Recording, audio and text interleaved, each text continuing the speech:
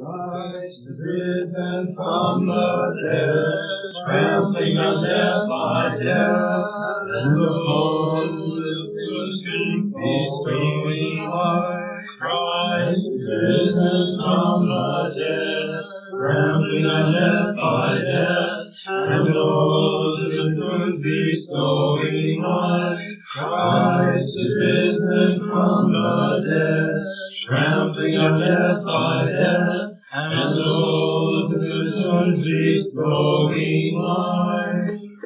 I'd like to speak tonight on a subject which is very uh, relevant to our times, the end of the world.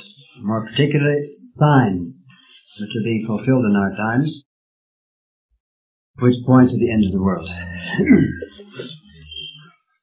there have been a number of times in the past when this subject has become very interesting. In fact, you can call them apocalyptic times. The apostles themselves felt this the third times are very apocalyptic. I'll read a little later on some of the statements they make in the scriptures, which show that they really expected the end of all things to be very close. At various other times, for example, in the West, around the year 1000, there was great expectation of the end. In Russia, around the 15th century, again, there was a period when the end was expected shortly.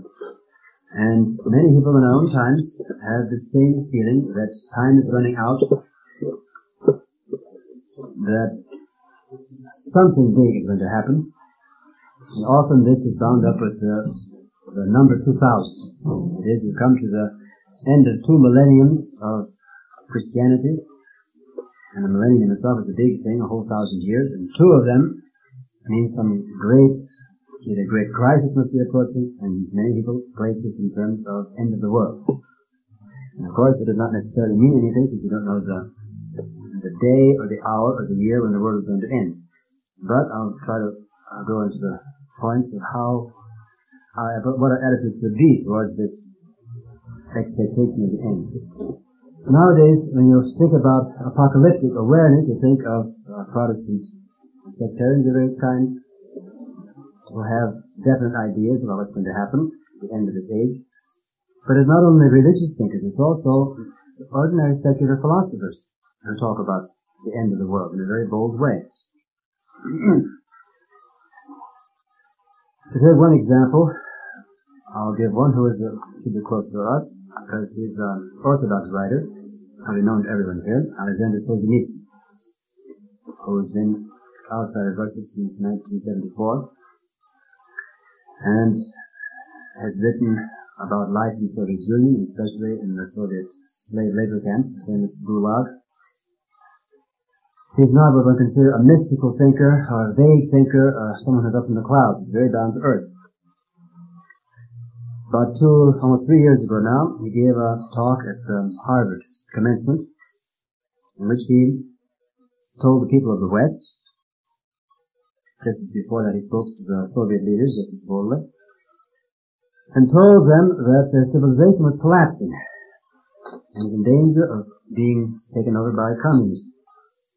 That modern humanism is not deep enough to satisfy the human soul, is no model that can be followed by Russia, if Russia should overthrow communism. And at the end of this address, he used the following words to express his idea of the depth of the crisis which is now going on in the world. He says, if the world has not come to its end and has approached a major turn in history equal in importance to the turn from the Middle Ages to the Renaissance. Here he speaks seriously of the possibility of the end of the world, based on his observations that it is impossible for men to live long without deep spiritual roots. And these spiritual roots have been uprooted in the East by communism, in the West by worldly humanism.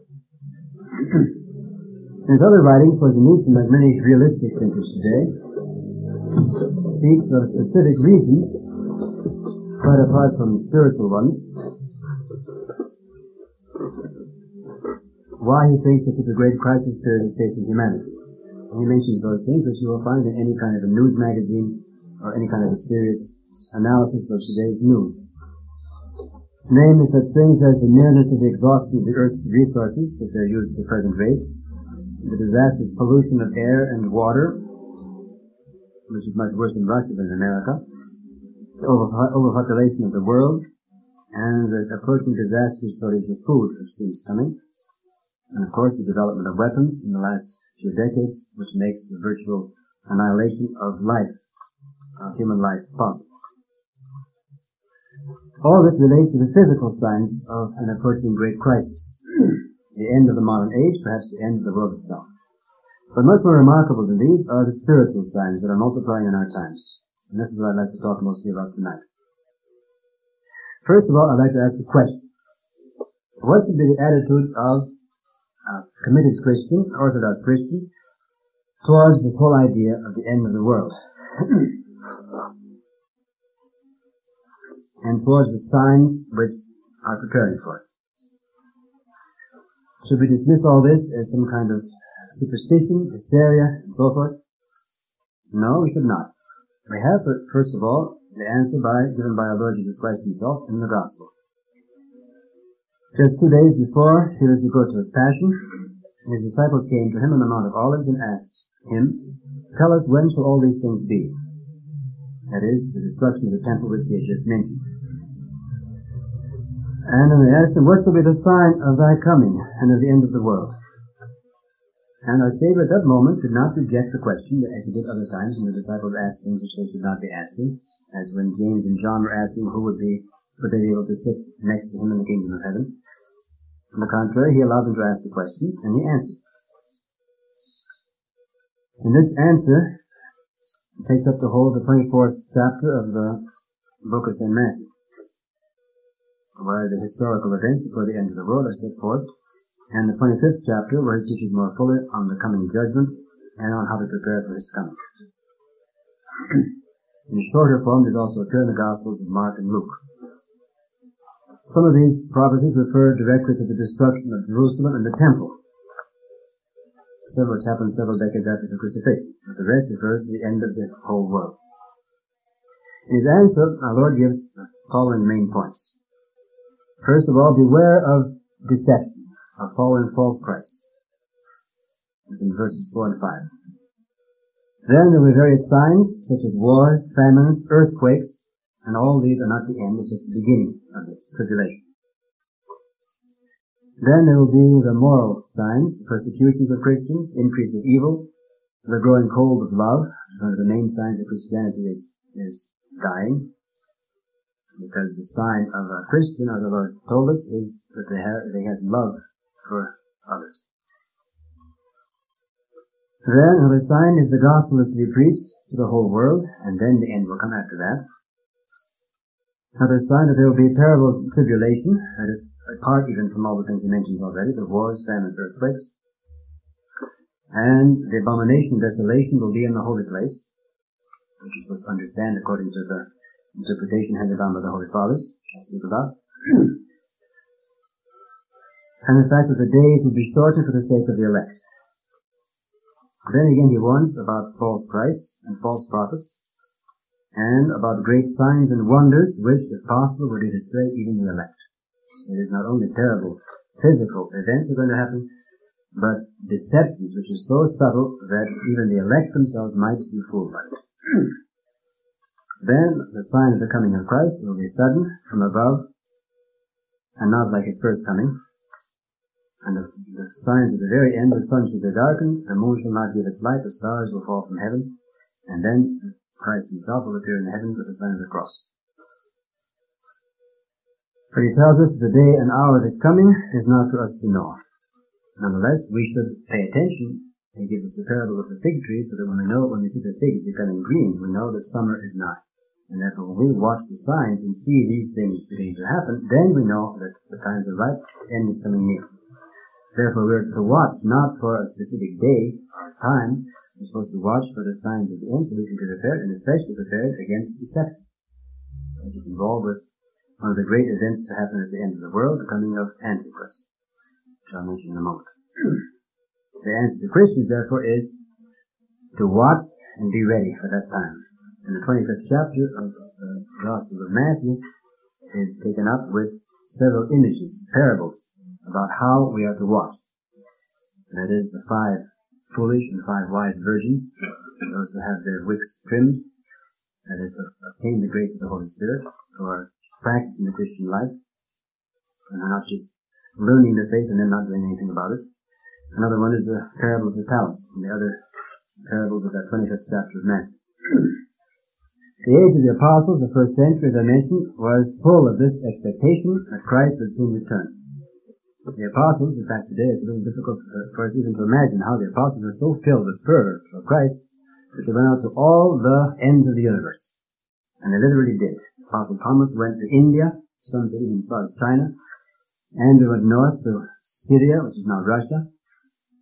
Aristobulus and others went to England. Matthew and others went south to Abyssinia. And the whole sort of civilized world at that time was covered by the apostles. Because they had the idea that the world was coming soon to an end, they were to go out to all lands and preach the gospel. Already by the destruction, time of the destruction of Jerusalem by the Romans in 70 AD, the gospel had been preached to virtually all the known inhabited world. and from that time on began the bringing forth of fruits among all those countries which had of the gospel planted in them. And you see, if you take any one particular country that received the gospel, you can see, tracing in its history, how over the centuries it brought forth fruits, it had saints, uh, life of the people was totally changed, and there was a total difference between the time that that country was pagan and the time it accepted Orthodox Christianity. In Any country in the West, Britain or France or in the East, Byzantium or Syria or uh, Russia. And the, the apostles mentioned some of the, the some of the uh, passages where they mention the coming of the end are in St. Paul, Hebrews 10:37. He quotes the, the prophet Habakkuk. Yet a very little while, and he that cometh shall come, and shall not tarry. And again in Philippians 4 5, rejoice in the Lord always, the Lord is at hand. St. John mentions in 1 John 2.18, Little children, it is the last hour. And the end of the apocalypse, Christ himself says, Yea, I come quickly. Amen. And then John says, Amen, come, Lord Jesus. The Apostle Peter says in 1 Peter 4 7, the end of all things is at hand. And when there were complaints about people who said that the end was a long time in coming, he told about his famous statement that was the Lord one day is a thousand years and a thousand years is a single day. And he's only being patient with us until we repent. this is 2 Peter 3, 4 to 10. And then after that, in that same passage, he gives the uh, fullest description we have of the actual end of the world by fire. so from that very time, those who were fervent Christians had a definite idea the world is soon coming to an end. Of course, it's been since that time 1900 years. Does that mean the apostles are mistaken? Or anybody else since then who thinks this idea is simply mistaken they should be uh, put away all ideas that the end of the world is at hand, that Christ is coming soon. No, it does not. It means us to understand this in the right way. And the right way is the spiritual way. If we are ourselves leading, conducting a conscious spiritual life, conducting the unseen warfare against our own fallen nature and against the demons who are against us, we will be constantly expecting the coming of Christ into our soul. With our death, of course, we have to meet Christ. And anyone who has this kind of feeling in his soul, for him it is quite natural to expect the soon coming of Christ. The only danger is if you go overboard and begin to try to place dates, to calculate exactly when it's going to happen, to be too concerned about specific events which are occurring and too quick to place them in categories that fit into chapters of the apocalypse, like this famous book that came out a few years ago. The late great planet Earth. In, in 20 years it will be outmoded and all the things he talked about, he has to go through and make a new book and fit them into some kind of new event. So it doesn't pay to go overboard on those details. Our approach has to be a little broader, a little higher, but just as firm. And uh, of course, the big mistake made by people who go overboard on these details uh, occurs when they fall into the heresy of Chiliasm, the expectation of Christ coming to earth for a thousand years. This is a very troublesome heresy, which was uh, widespread even in the early history of the church. It was condemned at the Fifth Ecumenical Council.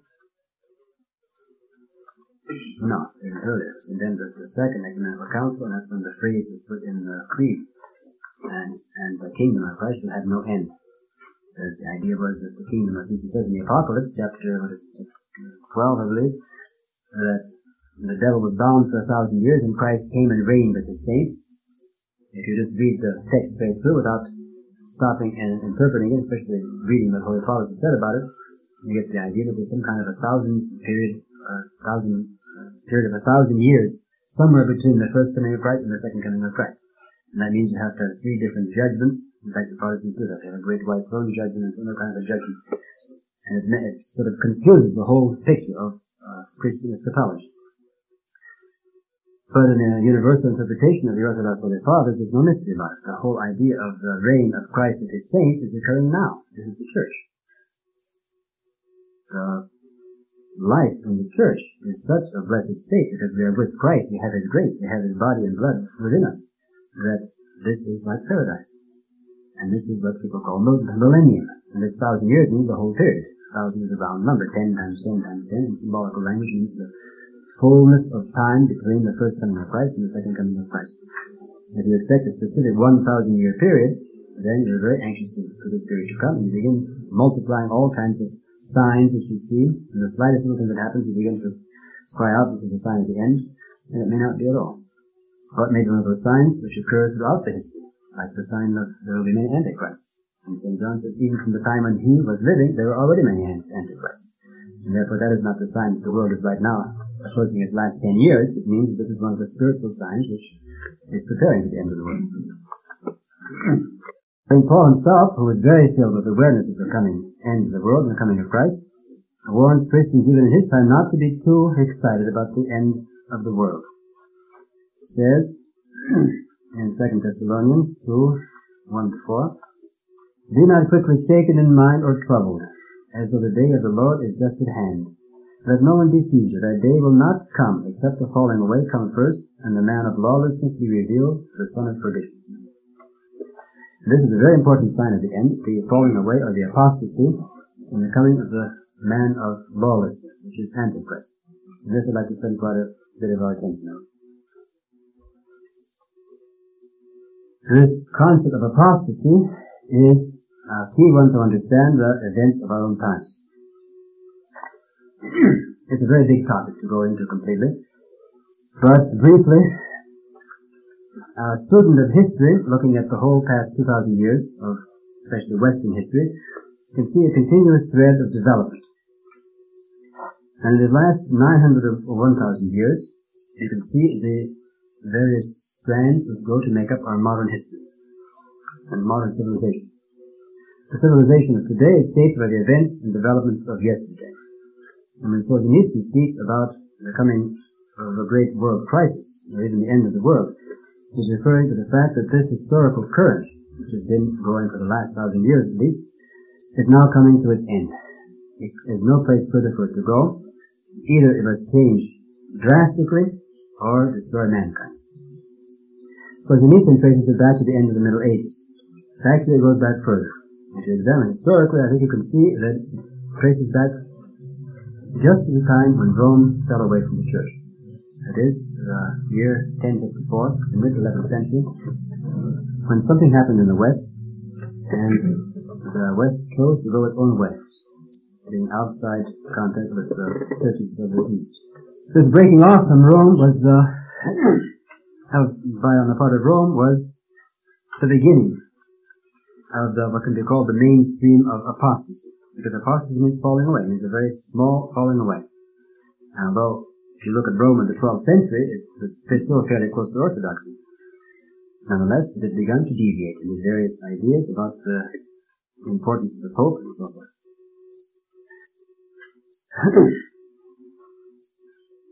Once this, mo- this movement of apostasy began, it went step by step, very logically, to produce the world that we see today. Rome broke off because worldly ideas of church government, the papacy, became dominant.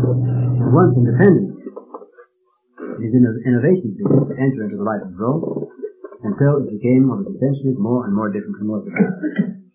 Worldliness in the Western world produced the pagan Renaissance,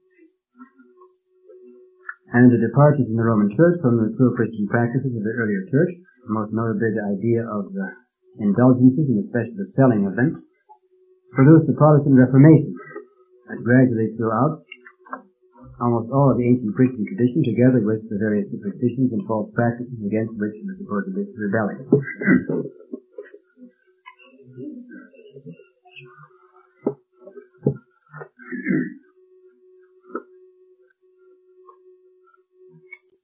This in turn produced the reaction which we know as the Age of Enlightenment, the 18th century, which threw out religion altogether and tried to base life upon human reason and common sense, which is basically what civilization is trying to live on today. And this is what it produced, the communism, with which Solzhenitsyn came out of, which he is protesting against, which is the last and most consistent form of trying to make life on earth solely in fitting human ideas and not divine. if Rome had not first fallen away from orthodoxy, and started this whole process of apostasy, world history would have been much different.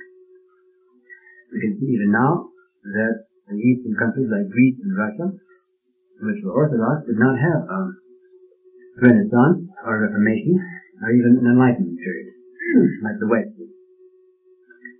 And if they're now bound up with the same kind of worldview that the West is, is because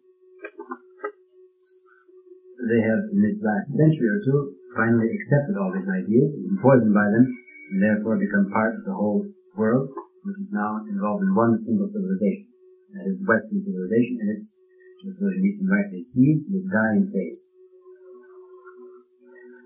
In the same passage where St. Paul mentions the apostasy in 2 Thessalonians, he gives a second name for this movement. He calls it the mystery of iniquity, or the mystery of lawlessness. He says the mystery of lawlessness is already at work preparing for Antichrist was the man of lawlessness. And if we look around at our 20th century civilization, the word lawlessness or anarchy is perhaps the chief characteristic that identifies it. A few examples. In modern art, at the beginning of the 20th century,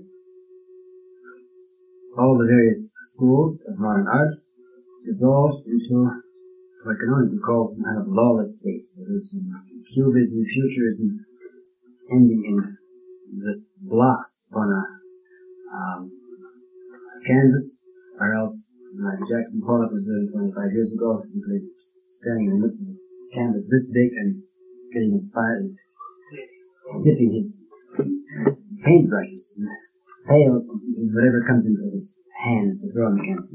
And sometimes it's very pleasing, sort of nice shapes, but it's not art. It's not, you can't seriously call art if the ancient masters are art, because they were meticulous and careful and they, there was a whole art, a science. And therefore you can say this is some kind of, compared to the ancient, even the more ancient modern art, this is some kind of lawlessness, because they're letting themselves go and do what is against all the laws.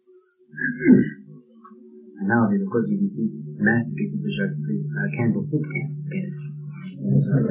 Twenty thousand dollars. Modern music, the same way. In fact, there's a historian of modern music, Alfred Frankenstein, said he wrote a complete history of Western music when he came to the 20th century. He stopped and said, I cannot write anymore because what comes from here on is no longer music, as I know it. And he, appreciated there's something there, but he said it, not, it does not obey the laws music obeyed up until the end of the 19th century. Therefore, it's something else that somebody else about. Because, again, some kind of lawlessness. There's some kind of a new principle in life. this sort of once we get this far, really there's no place else to go. That's the end of that. That's why Solzhenitsyn has this feeling that something's coming to an end because you cannot keep going down. You can't keep painting Campbell soup cans and call it art. Something else has to happen. There's no place else for it to go. There has to be either an explosion, totally something new principle has to enter in, like Christianity came in Roman times and totally transformed art, made a whole new art. But if something new didn't happen, then the whole civilization simply winds down, and that's the end of it. In the realm of moral teaching, it's quite noticeable, especially in the last 20 years or so, how lawlessness has become, become the norm, became the, the norm.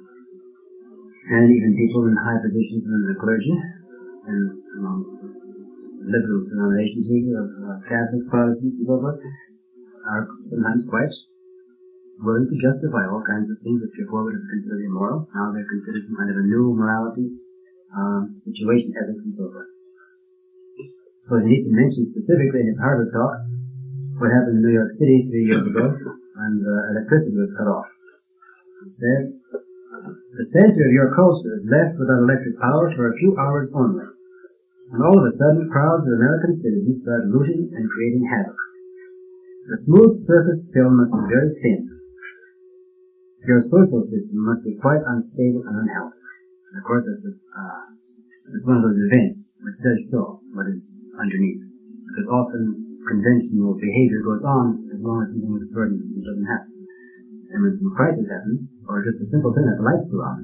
Forty years ago, the lights were not in America. Nothing when people would help each other out and light candles and so forth. And now instead they go and break windows and loot, take everything they can get for themselves, kill people, get away with it, whatever they can get away with. Mean, something has gone, has changed in this short period of time. All this is a sign of what St. Paul calls the mystery of lawlessness. It's a mystery because the mystery is something which is not fully revealed in this world. It is something which comes from the other world. And the mystery of righteousness is the whole story of how Christ came from heaven, God came from heaven to be incarnate to save us. And the mystery of lawlessness is the opposite. It's some kind of a mystery coming up from hell, which breaks into this world and changes this world. And this is the mystery of lawlessness, or anarchy, which is preparing for the coming of the man of lawlessness, is Antichrist.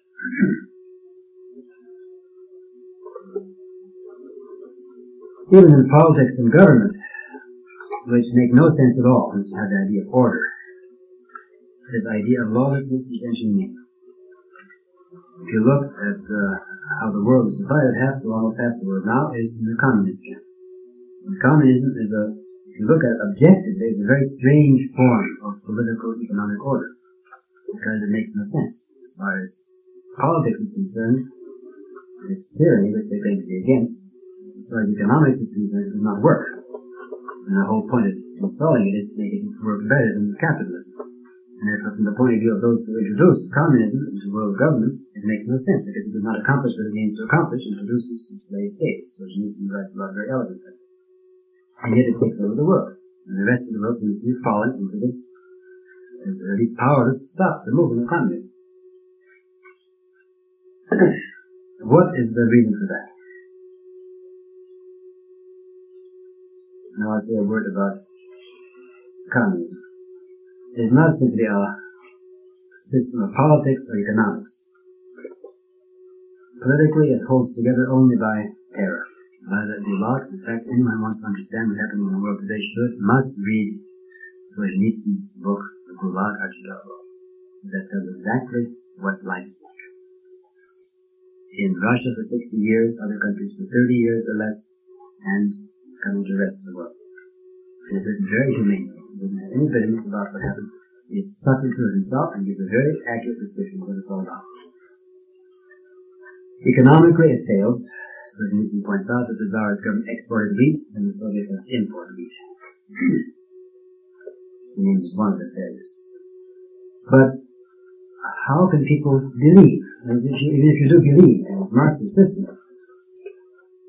you have to admit that it's a very strange philosophy. It is not an ordinary philosophy that it's better to have the people vote or it's better to have one monarch over many people. It's not simple like that at all. It's like a, a dream world, like a fantasy world. It's exactly like the movements which were very common in the 16th century called the Anabaptist movements when someone would proclaim himself to be Jesus Christ or the prophet of Jesus Christ, he would go out and people would begin to follow him. He would get a big uprising, there would be a peasant revolt, and finally the prince would come along and chop them all down, and then it would be peaceful again. But in the meantime, he had gotten the whole country excited, and people thought that some kind of great religious thing was happening. And communism has the same idea. That uh, if you examine it, it's actually a chiliastic idea that paradise is coming to earth just ahead of us. Uh, the communist movement in the 19th century is very interesting to, to read about the beginning of this movement because the early prophets, like the one that Dostoevsky was reading, this Fourier in France, if you read his writings, it's actually fantastic nonsense. He talks about the coming age of world peace and prosperity when all the fountains are going to be overflowing with pink lemonade. And you'll go and pick off the meat chopped off of trees, all kinds of fantastic things. How can anybody take it seriously? They did. This is what inspired, or even Marx was inspired by that to begin with, until Marx finally became mature and saw that this is all fairy tales, but he's going to make it on a scientific basis. And therefore he developed what's called scientific materialism. And he then set forth the way how to bring this into reality, the overthrowing the bourgeois governments. But when he comes into power, what is the, what is the answer? He promises actually the same thing that these people were promising. Because even Lenin, the foundation of the Russian communism, his idea is First of all, there's the revolution. You change society, overthrow, kill all the kings and the middle class and so forth, take all the possessions, give power to the workers. It's a very vague thing, the workers. The workers are the first ones to go to jail. Give power to the people somehow, but actually only a few take it over for them, sort of holding it in the bank for them the time being, but they aren't able to take care of themselves. And after a certain number of years, this so-called dictatorship of the proletariat withers away. And then people become peaceful, happy, contented, and there's no more problems. And someone even asked him what's going to happen in case somebody has a religious idea or wants to go back to the old-fashioned ways of doing things. And he says, they asked him, won't you a police department at least? And he said, there will be no need for a police department because the people themselves will be so changed under the new conditions of society that when anybody has a non-social idea, he'll be automatically squashed like a bug by the people themselves. And those people will be so happy that they're squashing people to begin with, that they will themselves do it. And there will be no need for police or armies or anything else. Well, it's absolute fairy tales. And this is what communist ideology is based upon. It's a very strange uh, political philosophy. This means that it partakes in this the same principle of lawlessness. It's some kind of lawlessness which pretends to be orderly. And that means it's like a forerunner of the coming of Antichrist. The reason why communism takes over the world is not because it's so much smarter than capitalism or democracies or anything of the sort. It's because in the West there's some kind of spiritual vacuum. And when this vacuum is present, communism marches, takes in little territory after the other until its president has conquered nearly half the world. but communism does not have the final answer because it's a very negative thing. In fact, just see what's been happening in Russia in the last 10, 20 years you can see that there's a full revolt as far as the people's mentality is against this whole system of communism. Although the dictatorship is just as strong as ever, in the last two years especially, they're putting more people in prison again, and the, police is very strong everywhere. Nonetheless, the people, more and more, are rising up. That is not an armed revolt, but they're rising up from their, their minds and becoming independent. Which means sooner or later the whole system is going to collapse. And so communism does not have the answer. It cannot sort of conquer the whole world and then bring peace and happiness like to do. But in the meantime, it's preparing for one very important thing that has to happen before the end of the world can come, and that is that there has to be one unified world government, which is from which Christianity has somehow been kicked out, and that communism has been doing very successfully.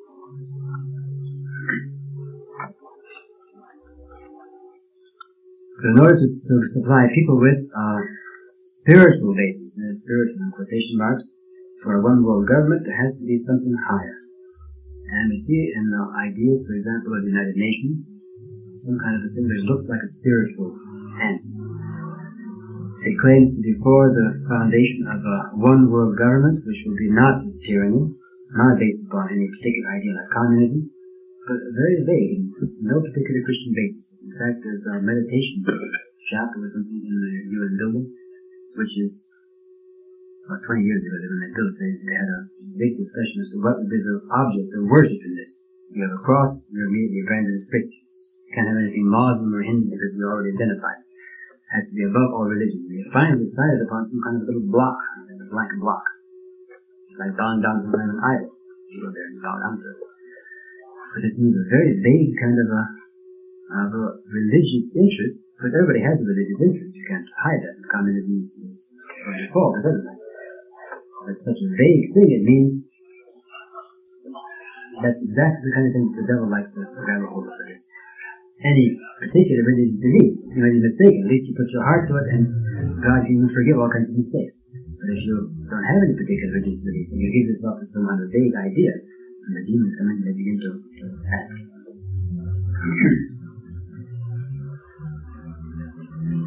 Another sign of the the times of the end, they're approaching, is the present state of the Jews in Israel, in the city of Jerusalem. According to the prophecies of Scripture and the Holy Fathers of the Orthodox Church, Jerusalem will be the world capital of Antichrist. And there he will rebuild the temple of Solomon, where he will be worshipped as God. The, the events coming at the very end of the world. Of course, it's very significant that only since 1948 has Jerusalem been once more in the hands of the Jews. Only since 1967 has the place where the temple was, the Mosque of Omar, has been in the hands of Jews because that was in the part which was held by the Muslims. And therefore all that prevents them, that is, technically, from building the temple, is to destroy this Mosque of Omar. And then use the site to build the temple. if you were to ask anyone who's aware at all of political events in the world, uh, question, what would be the ideal city to have as the world capital? If it's going to be a world empire. There's an obvious answer to most people's minds. You can't be New York because it's the center of capitalism. It can't be Moscow because it's the center of communism. It can't even be Rome because Roman Catholicism is still some kind of limited religion. And the logical place is Jerusalem. There are three religions come together, three continents come together. It's a logical place where there be peace, brotherhood, harmony, all those things which look good, but unless they have a solid Christian foundation, are not God-fearing. Those things that can be used by entities.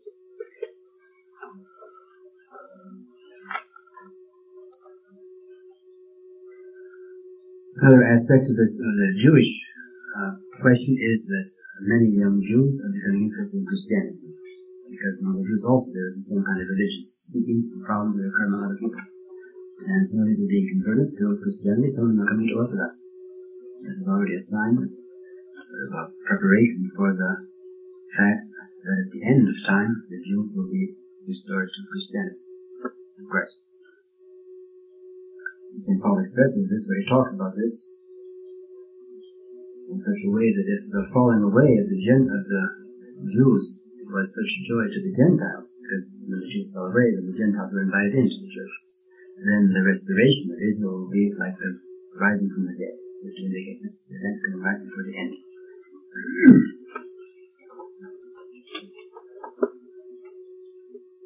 If you say a word about Antichrist, he's not simply a cruel dictator who is anti-Christian.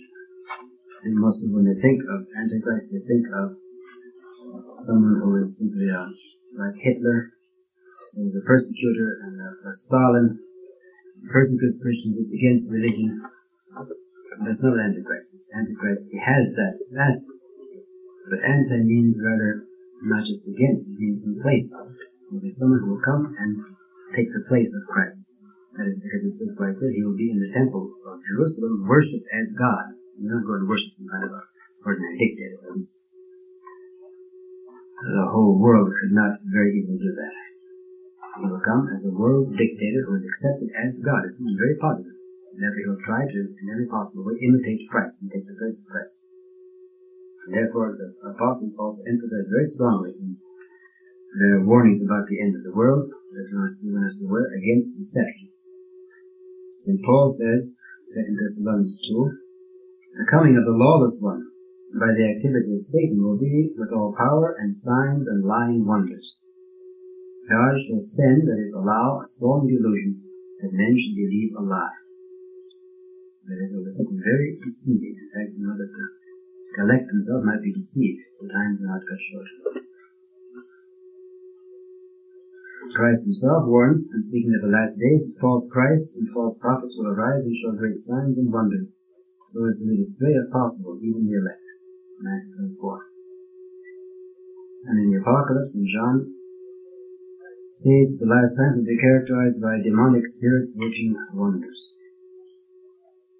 And therefore one of the signs of the coming of the end is the multiplication of demonic signs and wonders. So there's false miracles and things of that sort.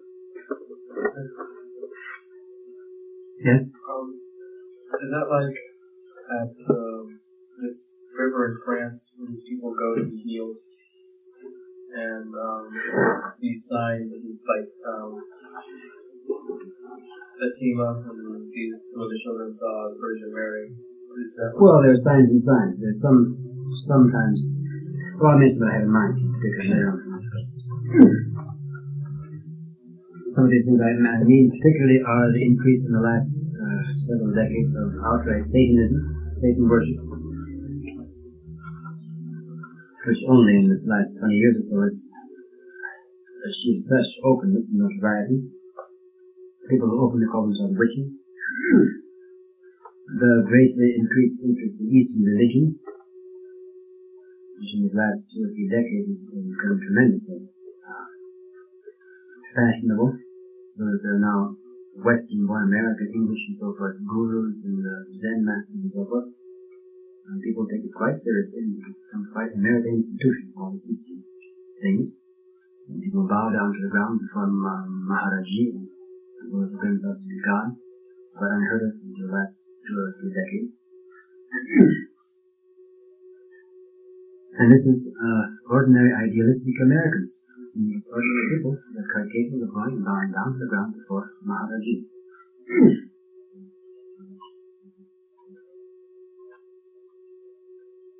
in, Western Christianity,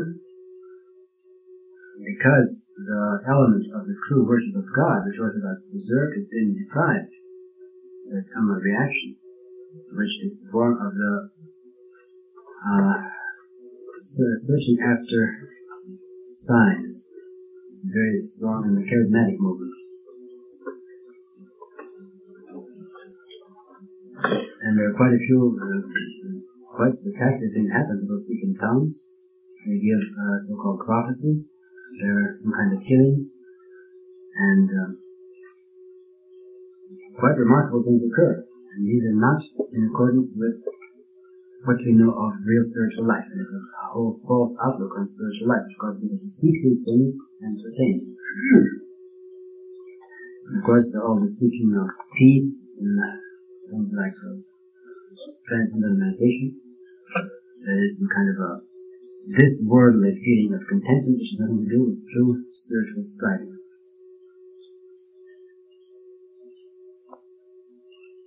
And we could name all kinds of occult and paranormal, paranormal phenomena which are so prevalent in our times.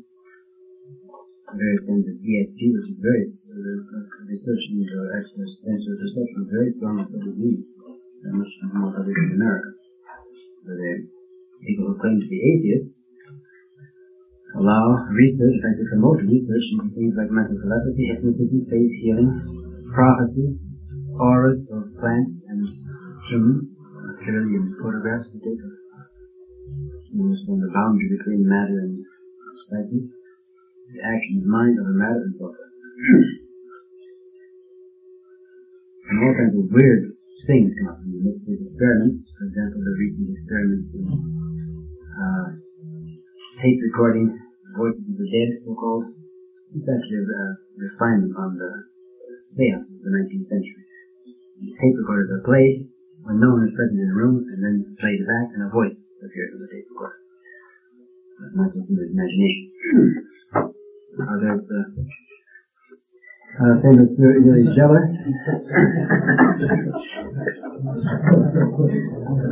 Don't play it back. All that happens when you play one voice, you get two voices back. If that happens, we better start repenting. One contemporary psychic, Uri Geller, you probably heard about, was able to uh, bend spoons by looking intently at them. And he claims he gets his power from beings in outer space. Some people, of course, they hear about this and they just laugh. I think it's very funny that people are so stupid as to think things like that. But the phenomena which are occurring are quite real. And the explanations that people use to explain them, so-called space data, are very. It's very interesting that demons come back into modern history through this means. All these are signs of uh, occult or strange uh, spiritual attitudes which produce what nowadays can't be called anything else but miracles. It is something is not accord with the normal way of natural process. And this is just what is needed for so that Antichrist will come with great deception to the demonic wonders and miracles in to. Many followers of the charismatic movement, where of course they do not believe in occultism, very much against it. Nevertheless, they accept this very strange phenomena as being in a Christian context. Many people like this believe that what they are seeing is an outpouring of the Holy Spirit. That is in the name for it's called the, the coming of the third age of the Holy Spirit, or the new age of the Holy Spirit. And I think this is a sign that Christ is coming soon. But actual prophecies of the scriptures, as well as Holy Fathers of the early church, indicate exactly the opposite. Christ himself said in uh, Luke 8:18, when the Son of Man returns, will he find faith on the earth? That is, the true flock of Christ at the end will be very small. And most Christians, most who call themselves Christians, will follow Antichrist. This idea of the new age of the Holy Spirit is, again, a chiliastic idea. It's looking forward to some kind of a uh, this worldly adaptation of paradise. And it's been in troubling uh, the Western world since the 12th century, appeared for the first time in a follower of Francis of Assisi. All these are very negative signs, and of course the Christian is supposed to be prepared for the most negative things possible. Nonetheless, they're also, we should be prepared and look out for the positive signs at the end of the world. First of all, one of the positive signs is Israel. That is, of course, the state of Israel is a totally neutral thing. But the very fact that it looks as though there's beginning in the Jewish people is somehow stirring, as though the the, the, the, process of coming back to Christ may be beginning. That is very a hopeful, very positive thing. Because that's um, that's the thing which St. Paul said, would rather sort of be in hell for the sake of his people, if only they would wake up and see Christ who came for them first of all. And when they finally come, that's the end of the world. All the peoples have been called in, and they're the last ones that pray for them to come back. Then there is the movement of conversion to Orthodox Christianity, which we see in many parts of the world. In Africa, since the last, the last 50 years, it's been tremendous a movement of conversion of people in Uganda, Kenya, Tanzania, and other countries, now the Congo other countries, where ordinary people, in fact, they often write to us, solicit us words, they sent this kind of letter, very evangelical, about rejoicing in the Lord in a scriptural text, and they're very, very pious and uh, very faithful to orthodoxy, and just the kind of simple-hearted people that Christ wants. But, uh, the kind of people are coming into the Orthodox Church now. The same thing is happening in other countries. In fact, right here in America, we see more and more people are waking up, and for no often no apparent reason, they're finding out that Orthodoxy is the real truth. This is happening also in Western Europe and other countries. then there is stuff in Russia. And this is a subject that deserves many talks by itself. But it's certainly a remarkable thing that this country, which for for 60 years now has suffered under communism, under atheism, has endured, and according to all the communist laws, since religion is only a superstitious remnant of the past, and all the old ladies are dead, there will be no more religion left. And now after 60 years and all the old ladies are dead, religion is coming back stronger than ever. Therefore something is wrong with their idea. The something is wrong is that they not realize that the soul wants God, wants Christ. And therefore, uh, this people for 60 years endured this yoke of atheism. This is a very powerful thing. The whole society is based upon godlessness. And now people are coming, they enjoy this and stuck it out and are coming back to believe in God. so Solzhenitsyn says about Russia and other countries who enjoy communism. Through intense suffering, our country has now achieved a spiritual development of such intensity that the Western system in its present state of spiritual exhaustion does not look attractive to us. A fact which cannot be disputed is the weakening of human beings in the West, while in the East they are becoming firmer and stronger. Six decades for our people and three decades for the people of Eastern Europe. During that time we have been through a spiritual training far in advance of the Western experience. Father Dmitry Dudko especially says very similar things. And he makes a very important point also that someone once told him how much better it was to be in the West because there they have freedom.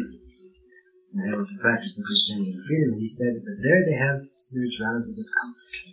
And here we have spirituality with suffering. Therefore it's deeper. On the basis of our sufferings and the martyrdom, they become a seed of Christianity. Because the blood of the martyrs is a seed of Christianity. And that's why something very deep is happening in the Russian people and those who are suffering from communism.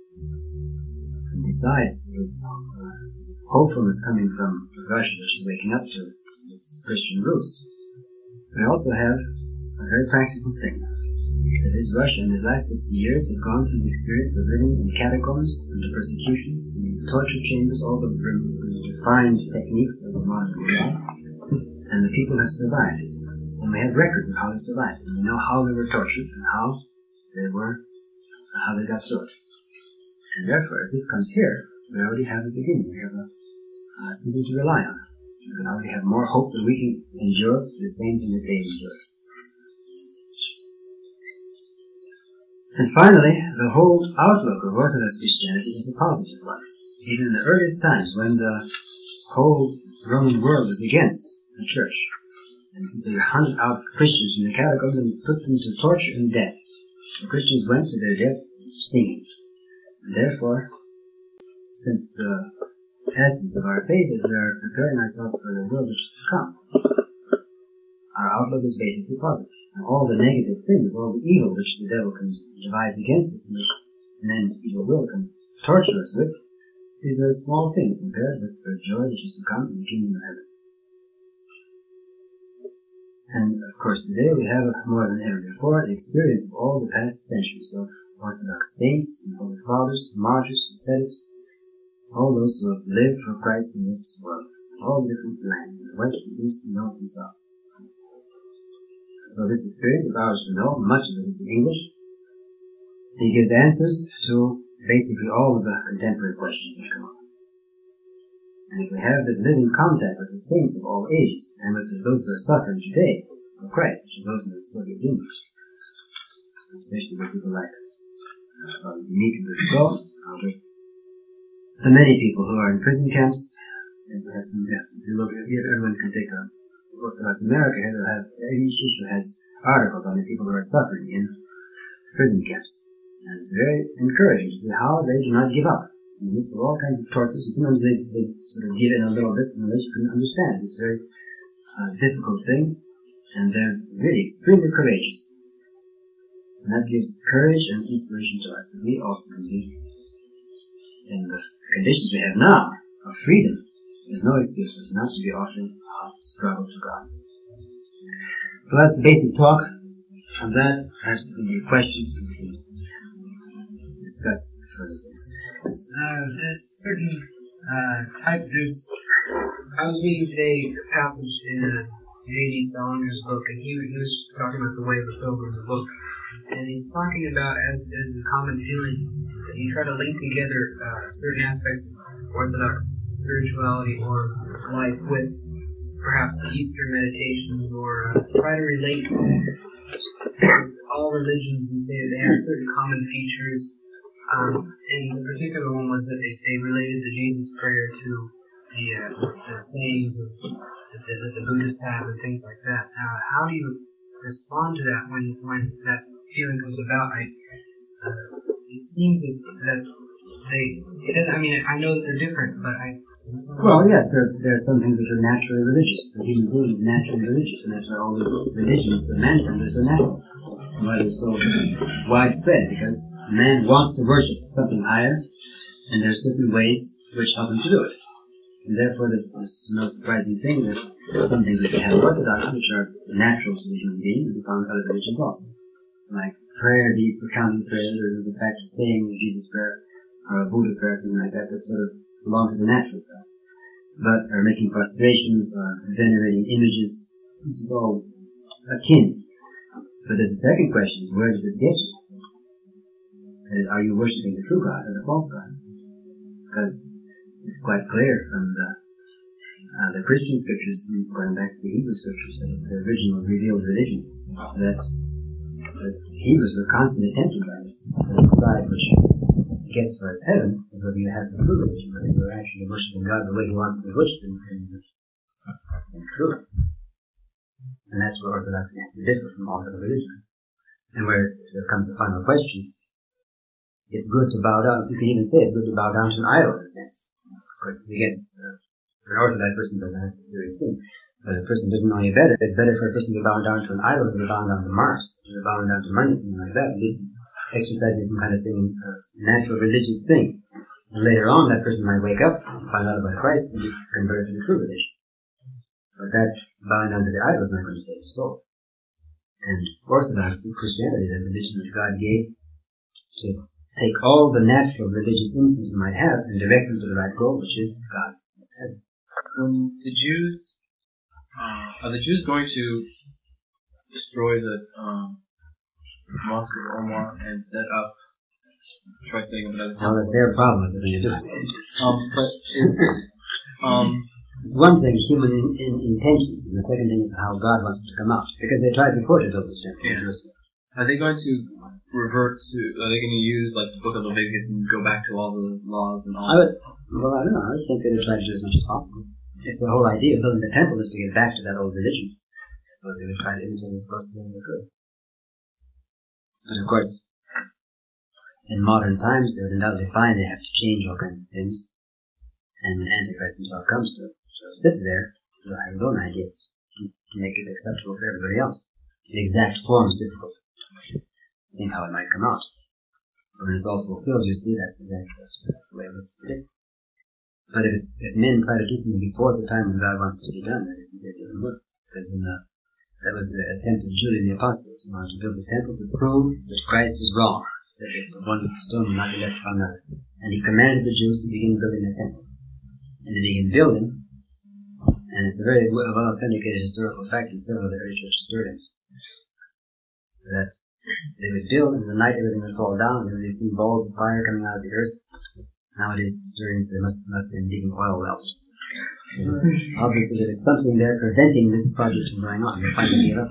And Julian himself was killed and all was nothing. But it was not, the, the times were not right for that to happen. It couldn't happen. Of course, today's times much more right. The two who didn't die, the Old Testament died. And it was trans- translated, was not found, and Elijah went up in the fiery chariot. Therefore, they'll come back as the two witnesses and preach against them. No, there's a, the other back there too. In fact, there are traditions about, some say about John the theologian. There's also uh, prophecies and there he would come back at that. But he died already, so he'll come back resurrected. what are they planning to do? Two mention the apocalypse of anything in the life. Are they just going to try and tell the people that this is the Antichrist, this isn't Christ, or are they just going to... Well, with the, according to tradition, they have two functions. Elijah was speak to the Jews to restore the, it says in the Gospel, and when they ask, uh, Jesus, has John the Baptist, has Elijah come yet? Some said that John's, John the Baptist was Elijah. He was supposed to come to reconcile the fathers to the children. And he said that he had come in a certain sense, that is in the spiritual sense he had come. But most of them would not accept it, therefore the real Elijah comes at the end of time to reconcile the fathers, the Jews to the sons, with the Gentiles. And he will speak to the rest of the people.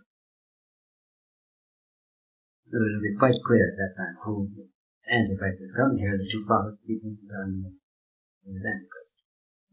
Not something about some of the miracles you were saying, you know, that are, that are happening right now. Just just recently, I saw you know that's incredible that they have uh, they had a, a Catholic priest who does this healing service. He sees some holy water, supposedly holy water. You know, one of these things is it out. The goal among his his parishioners, and they'll fling out the holy water, and it'll hit some people, and they'll fall down like they're paralyzed. And he, and he does miraculous healings and all this stuff. But but you know, they showed a little bit of his service, and his service looked just like a comedy routine. You know, he's up there laughing, and giggling, and telling jokes. That that was the service. It was absurd. Well, that's when you fit in miracles without a modern modern way of life. And that's why, fortunately, Orthodox is very difficult to fit into that pattern. It's just so old-fashioned and different. It's very difficult. But it's so up to date that people will follow it like a fashion. And that preserves us in many ways. If if uh, Antichrist and the mystery of iniquity will produce imitations of of uh, Christ's revelation, then surely Antichrist will have uh, his church. Only it will not it will not in any way be like the Church of Christ. How do you see uh, the uh, World Council of Churches, the Council of the Churches of this world, as as part of this mystery of iniquity? Well, it's trying to prepare for that. It's, it's sort of equivalent, religious equivalent of the United Nations, trying to build up a religious unity which is not on the basis of Christ. Well, the kind of vagueness that you spoke of uh, in that UN obelisk, I have been there. I have been there before, 19, about 1976. And it's actually kind of dark black rock-like kind of thing. It's very, it's a very vague, ambiguous thing, and it kind of reminds me to some extent of the uh, uh, least common denominator deity that humanism is producing. You know, we all believe in Christ, uh, in whom we have no common opinion whatsoever. And beyond Christ, because now they welcome non, non-Christian groups. There's a dialogue with non-Christian religions. So any kind of religious belief of course, in a certain sense, it's true, but you can't make a, a anything positive out of that. And therefore, when An- Antichrist sits to that, Antichrist will come to offer us some kind of a, like a, you call it, a catalyst for all this, and gel all the elements together, and it'll all bow down to him, because he supplies what they want. Yeah, the Russian God is Solovyov, at the end of the last century. Very interesting man, although a little crazy in some ways. But he had, in his last few years, he became, uh, very changed. In fact, he said that he felt very strange going to church because he felt that the age of the catacombs was about to come back. And he felt he should underground for the church. But he, and this, under the impulse of this last year or two of his life, he wrote a book called Three Conversations on Antichrist and the End of the World, which he sets forth like a novel the uh, coming of Antichrist. In places, I think, in the 21st century, world wars, and there's a how a great man leader arises the first becomes president of Europe and is acc- by acclamation he's made the president of the world for life and then world emperor and he re- reunites everyone under the basis like a Roman Empire and then decides that he has to have a religious unity also so he calls a World Ecumenical Council in Jerusalem. And there he offers to all people all that they ever desire if only they sort of acknowledge him bow down to him. And the, and the Protestants have a special academy open to, to explore the scriptures from all different points of view, all different kinds of biblical criticism. The Catholics have a papal institute or something or other, and the Orthodox are offered in Constantinople, and if the Hagia Sophia is restored, there's going to be a museum of all possible Orthodox antiquities, where every kind of beautiful thing which Orthodox ever had is going to be presented in a museum. That's supposed to satisfy the Orthodox people. And if everyone will be satisfied with him, they will bow down and worship him. Of course, it means that you'll be satisfied with this external thing, which you think. So an external point of view represents a religion. Anyone who's attracted by by glittering censers and incense and beautiful vestments, first of all, of course, he'll fall down Antichrist. How do you see the Orthodox presence in in America, which has more or less produced the uh, World Council of Churches, in a way, as we see it today? How how are we to take these apocalyptic apocalyptic terms in that way? What is the apocalyptic significance of Orthodoxy in America, or what? Yes. Well, I don't think there's anything more significant about America than perhaps any other country like Uganda. But I think it's uh, definitely significant that people are waking up to it. People who've never had no relationship or love to Orthodoxy. Simply because they heard the word preached, begin to wake up to see, and especially in a country which is totally Christianized, supposedly, and then wake up and see that all that is called Christianity is not really Christianity. And they want Orthodoxy. That's uh, could very well be one of the signs of the end. In fact, I think, of course, there are different kinds of ends when a country uh, comes to its end. It's like before communism came to Russia, there was a great spiritual revival actually going on. And great saints, John Kronstadt, and also often and many holy monks and bishops living at that time. And many people were very fervent, but this whole society was sort of against it. Become so westernized, so sort of anti-Christian almost, that that was finally submerged. But if you look at it from the point of view of a spiritual revival, it definitely was a spiritual revival. And therefore, the more you see that kind of thing happening here, you begin to wonder whether it's not coming to an end of something for us too. And of course, that's where we're bound up at the end of it. Because things right now are, seem to be stepping up their tempo. Both things in Russia, things in America, the whole world situation. It looks as though heading for some momentous events quite close in the future. Of course, we shouldn't get carried away by historical events. Basically, Christianity is to save your soul. And if each person finds out about the truth and starts right here and now starting to live life according to the church's commandments.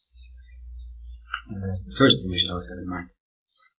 And if somebody next to you also finds out about it, somebody on the street, and then there's a whole group of people, that's all the better helps out to struggle more yourself.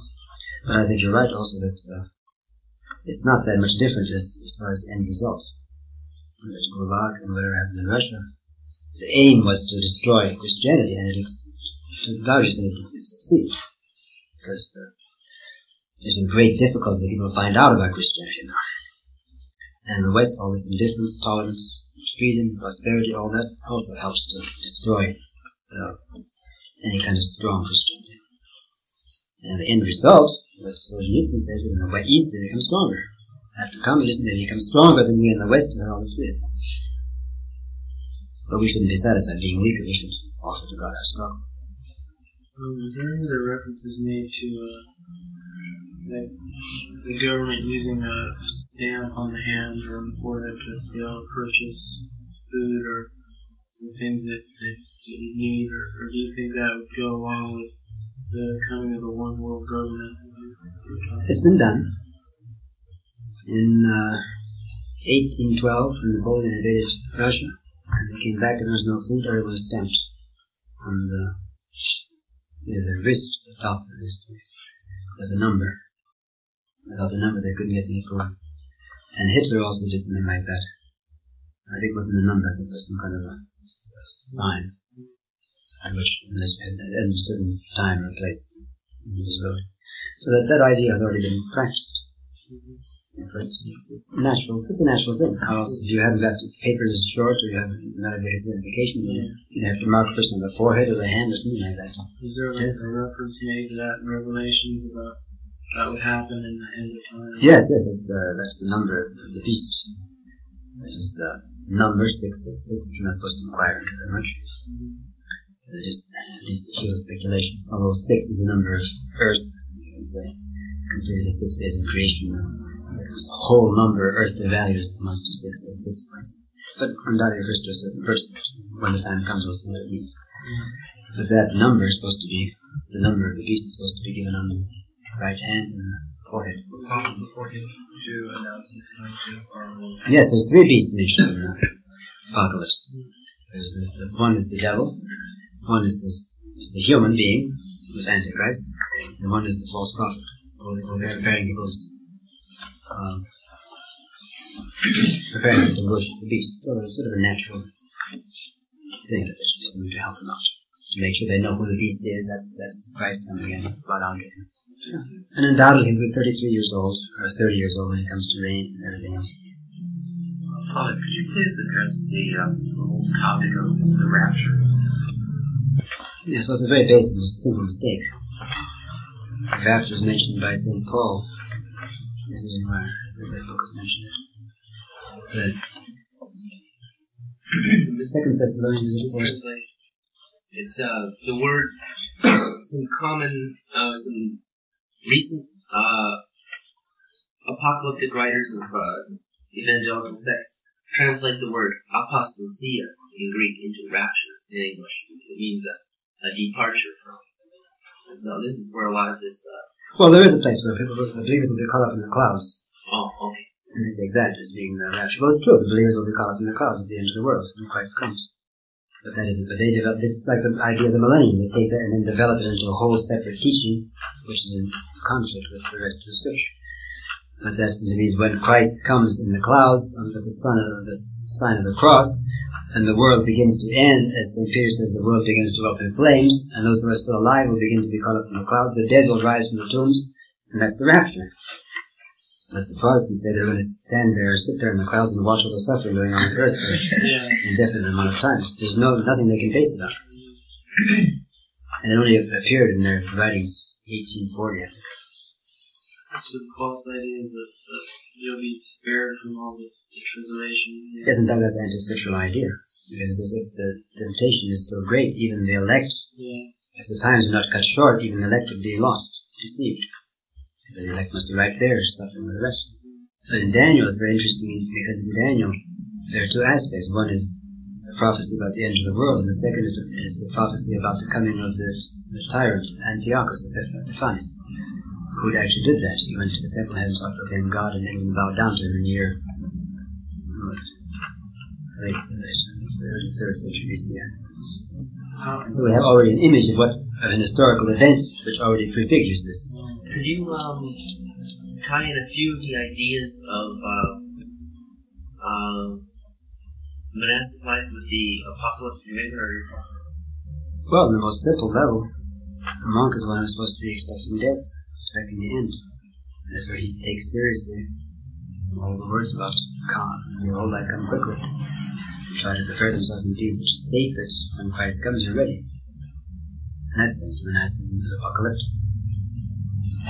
And more and more general could be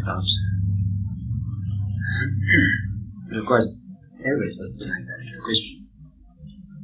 You shouldn't sort of think that only the monks are responsible for living Christian life. It's not true. It's just everybody else.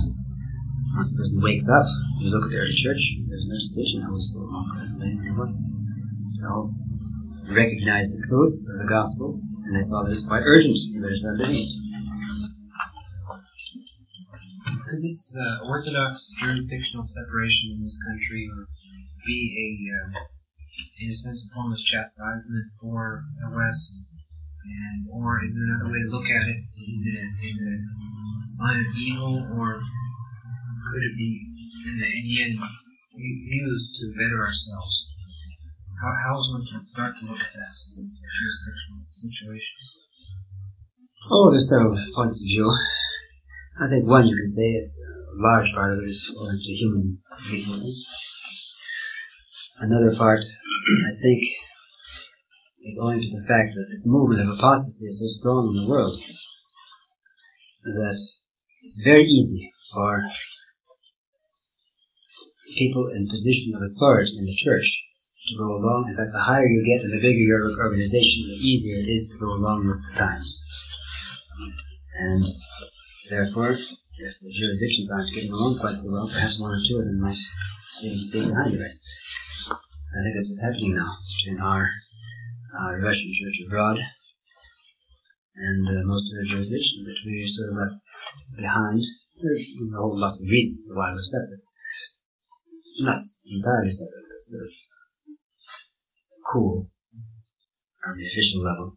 And this, in a way, preserves us. And the fact that we're preserved now enables people outside to look back and see, aha, there is still some kind of standard of orthodoxy, and what some of our leaders are doing isn't of the proper way, and then it helps out. What the end result will be from that, I don't know, but I think it makes more people aware that there's not just one big Orthodox church, is following the Catholic Church, is following the Protestants, is following the, the Jews, is following the Unitarians. It's a vicious circle.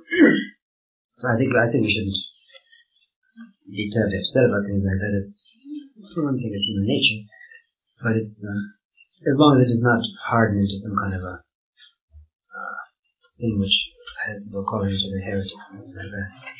I think it even, in this sense, be a kind of a positive thing. And in the end, when cri- critical times come, then I think it'll be seen how useful it was. There's some groups that stay behind. Some bishops, some priests have already stayed uh, in a sort of backwards point of view in order to be of help when crisis comes. Because it's true that many of the Orthodox hierarchs led far too after following, following just following the Western confession, not going to come to disaster for their health. Could you address uh, aspects of science fiction that you had a chance to uh, write about in your Orthodoxy and the Religion of the Future? I noticed you didn't didn't include a great deal of that in your in your lecture. Oh yes, in particular. Well, um, Bishop Brianchaninov writes that man expects, modern man expects an encounter of one sort or another. And of course we get that in the titles of these movies, you know. Close Encounters of the Third Kind, and you describe them in your book as barely disguised demons. unquote. And, uh, I don't know, I, I was wondering if you could include or do a little uh, tying in of this aspect of the mentality of modern, supposedly atheistic man as a sign of the times. Well, yes, I think that things like science fiction is only one aspect of it. I think it's the, it's the way through which man, totally sort of atheistic, unbelieving man, can come back to a religion which is not religion. That saves your soul, that requires your soul to repent, but to some kind of vague religious interest which is perfectly in harmony with the spirit of the times, with worldliness, and therefore that belongs to Antichrist because it's remarkable if you look at of the, the Star Trek series, the things that are performed by these uh, space creatures are just demonic tricks, just the many lives of saints. And it's interesting that if they who read them from the lives of saints, they would laugh at you. If you read them in a science fiction story, and they, of course they might not say it's take it entirely seriously as reality, nonetheless that's the way it begins. First you sort of accept it as a fantasy, and then is not youth in the next generation begins to take it more seriously in reality. reality. And thus finally enters into the atmosphere of something quite plausible. I recall one statement made by uh, an engineer when the uh, space shuttle landed. He said, uh, "We're we're just on the brink of of Star Wars. We really are." Well, of course, there's a lot of fantasy statements like that. Because uh, they haven't found a single person out there to fight. And uh, all these people who write about it, in the last several years have been a rash of books about uh, UFO and uh, trying to explain them. And they, in fact, one here at Stanford University, uh, his name is Frenchman Jacques Vallée, and um, uh, Allen Hynek, experts in these phenomena and the sort of the religious side of them, and they come to the conclusion that there's there's nobody out there at all. It's all some kind of staged performances by somebody in a fourth dimension, right here on Earth. So you read that from an Orthodox perspective, you say, ah, who's in the fourth dimension right here on Earth? I say, well, it's demons. It's like the demons are. Uh, this is, I think this is a book, well, there's several books now. One was called, um, was Allen Hynek, he's an astronomer in Northwestern University, and Jacques Vallée.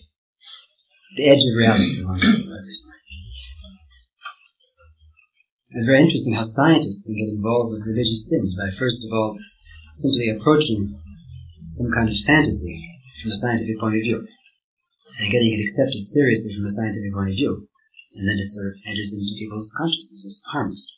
Now we see um, such an outpouring of um, ideas and attitudes which are uh, not Christian and even anti-Christian. Um, and some of the things which we may not even be sort of consciously aware of, but are in the air. What are some practical things that Orthodox Christians can do to um, resist these and become more um, aware of them? Well, I think we should be reading more Orthodox literature, like both the lives of saints and the writings of fathers, on the more practical side, especially Christian life, so they will have an idea of what are the basic kinds of temptations that come to people who are struggling in the Christian life. And that will help us, even in this new kind of situation, it helps us to maybe fit it into the type to which it belongs. And the more you're doing that, the more you're prepared, there's not even anything else, to face temptations that are happening now. And another thing is to try to sort of look at the things that go on in the world around you with a critical point of view. It is not simply accepting whatever is in fashion, whatever happens to be. In fact, if it comes into fashion, since the times are always evil, and now more than ever, there's bound to be some kind of a wrong reason for it to be in fashion. Therefore, should instantly distrust some kind of new fashionable thing and don't give your whole trust to it. So look, it doesn't mean you have to be entirely sour about everything. It means you have to be just cautious. The St. Paul says you have to be walking circumspectly, redeeming the day, redeeming the time, for the days of evil. And that was during his time, the more so now when evil is built up so much. And then, especially things which I think in our times one of the most important things is to be aware of, since we live in um, civilization which is very advanced in the sense of providing instant comfort and all kinds of convenient things, there's a certain kind of like paralysis which can come over one, or a certain kind of uh, almost hypnotism. And you have to be aware of anything which makes you extra passive. For example, television. You watch television too much, it produces this kind of feeling of very passive, waiting for the next thing that's going to come to you. And it's a very da- spiritually, a very dangerous state. Therefore, I think that kind of a thing, especially, we should watch out not to, to be aware of anything that looks produce some kind of a passive state, which can be uh, can lead directly to some kind of hypnosis or hypnotic suggestions. I think if you're doing those things, plus leading a normal Christian life and making, uh, saying prayers according to the prayer book, and attending church when you can, making uh, generating eye contact, making frustrations, and the normal things that Orthodox Christians do, all these help guard against all evil there and there also. Um, you've been involved, according to Orthodox with Hinduism, is that right? Not much Hinduism, more Buddhism. Buddhism. Uh, how do you regard uh, East masters of these religions who claim to have achieved some union with an impersonal being? Uh, you regard that as how do you regard that as being regard as being deceived by demons, or do you regard it as Well, I don't know. It's, it's very I mean, what, what is the re- what's the origin of this impersonalist concept? Well, the origin of that concept, I think, it comes from people who don't want to meet the personal God, They they fear the personal God. because definitely he requires things. And so there's But I think in many cases, people who say they have this experience is some kind of an illusion, some kind of a wishful thinking, which they, which is very much helped by the feeling of Zen meditation. Quiet yourself down, quiet yourself down, quiet yourself down. And if you haven't got anything really deep inside you that wants to come out, you can get yourself into a quiet state. You think you met God, or whatever you- looking for. So they're satisfied with the insufficient spiritual state. Uh, I, I say like spiritual maturity, spiritual sort half grown up. But I think if there's anything passion inside of you that's finally you'll go crazy. So it's not a direct pulling away from God. It's just like stopping at the threshold, or not at the threshold, but at the uh, Well, of course, they, then their ideas and other of them are simply against the whole idea of Christian Mm. So I don't know how a person comes back from that to find the true God is going to have a very difficult time or what. The way they describe, for example, the meditation at this uh, Shasta Abbey. I can see that for a person who wants to avoid problems and not be confused, he sort of finally talk himself into the state of being absolutely quiet and thinking sad. and the way that these religions have been interpreted in the United States uh, is is, uh, is partially uh, partially um, has been affected by the idea of self perfection that we can do it on our own and like, as as Oh, yeah. individuals. Yeah, everything Oriental that comes to America is just given American coloration that our own problems enter into it and the answer hence its means reflects whatever is needed by Americans. Could you comment on um, you, one of your first citations of Roman Catholicism's uh, kind of spirituality was Francis of Assisi. Well, he seems to be the beginning of what happened in the West. He's already, already a hundred years after the schism, more than a hundred years. And there's several elements in his life which does not ring true from the Orthodox point of view. Uh, I think it's, well, the, the time he made the great um, fuss about he was sick and he ate meat. And when he got well, he made a big point of going through the streets and telling them, you all think I'm a holy man, look at me, I ate meat. And someone was running after him, whipping him, pouring ashes on his head and making a big demonstration. And that's not very, that's not sober. You're showing off your evil, which means that you're proud. Some kind of pride is involved. Or especially when he stigmata, he's the first one to receive the stigmata. And he received those by asking Christ to let him suffer just like he did. And that's simply Orthodox Christians could not ask a thing like that. And if you have wholly 100% in that in the spirit of Orthodox worship, you don't ask to suffer like Christ because he did it once. You don't, that's not your doing. It never occurred. But he wanted to be like Christ. And therefore he got some kind of a thing which came in his hands. Apparently some kind of psychic phenomenon. And there's some other things, and there, some of the writers of his lives, a little further, they say, when Francis died, God the Father did not know at which to be more pleased, Francis at his first son, Christ, or his second son, Francis. Because the, writer of the life, maybe beyond Francis himself. But it, I think it's already showing that there's this element of deception entered into his life.